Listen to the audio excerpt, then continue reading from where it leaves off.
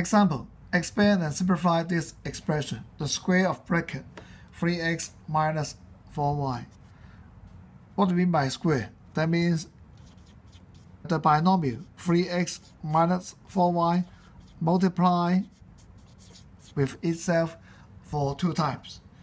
Therefore, we can simplify or expand the expression.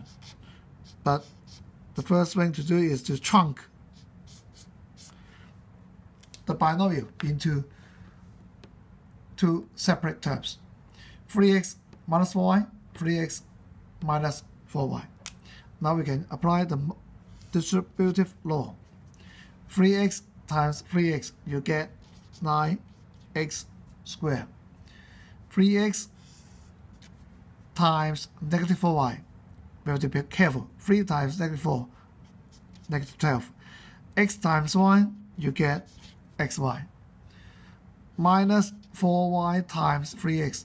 Again, minus 4 times 3, you get minus 12. y times x, we write it as yx. Last one, negative 4y times negative 4y. If plus 16 y square And we can find uh, two like terms here. Negative 2xy and negative 2yx. yx is the same as xy. Therefore, this is negative 24 xy plus 16 y squared.